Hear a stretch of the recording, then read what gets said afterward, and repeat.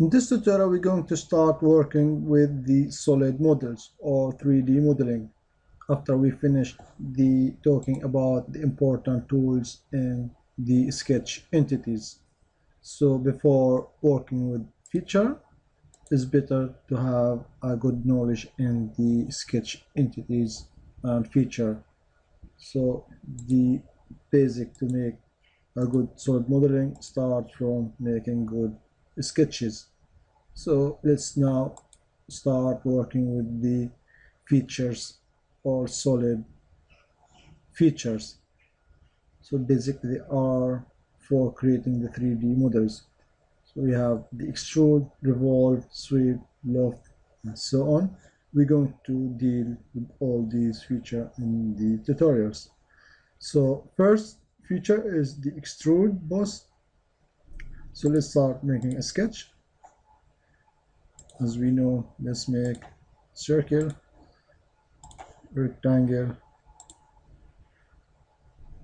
and let's make slot.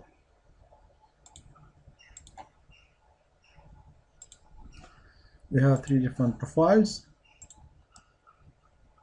Let's accept the sketch or without exiting the sketch you're still able to work with the extrude. So here is the extrude is activated. So now let's select extrude feature.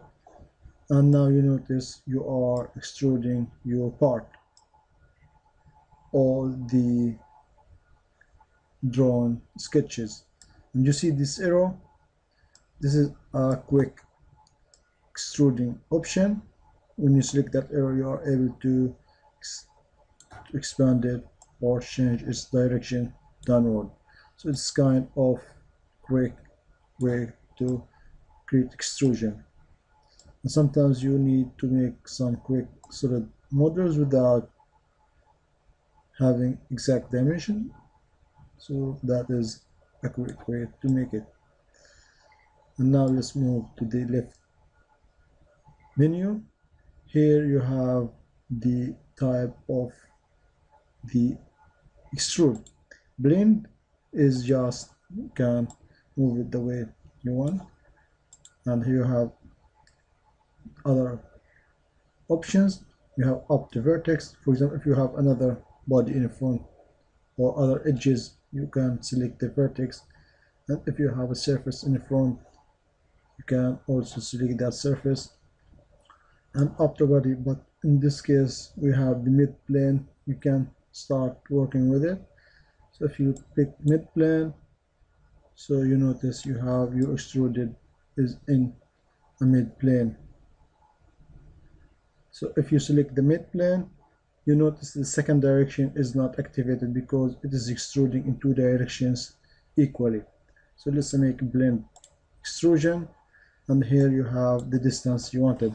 So if you type 70 you have 70 the exact value you want. 80 or 50 as you want. And if you want to change the direction you have this the flip or this icon reverse direction. So you have on the other direction. So let's make it back there. And here you have the draft on or off. So when you are making extrusion this first make okay let you see how the extrusion looks like. Now you have this extrusion parts. And you can edit the existing extrusion. You can click on it and here edit feature. So you are able to edit that feature again so here you have the draft. You can apply some draft. So you can let's make the angle to be a little bit there 10 degree. So you understand this angular extruded part. So this is the idea of draft. And here if you select the draft outward so you are drafting outward.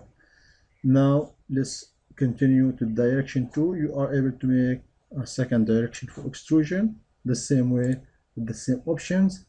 If you want to have a draft or not.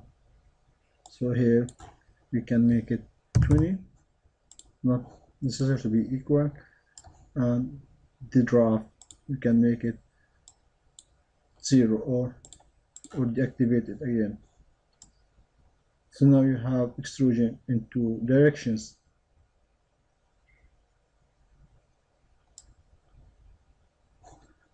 okay.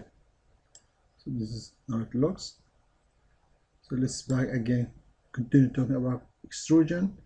Let's edit feature. And now here you have the selected contours. That means you are able to select some of the sketching to be extruded not all the sketch for example we have sketch containing many profiles but we want to extrude some of them. So let's select what we want to extrude. So it should be closed profile. And let's extrude both of these. And we have the options we already talked about. When you are done click ok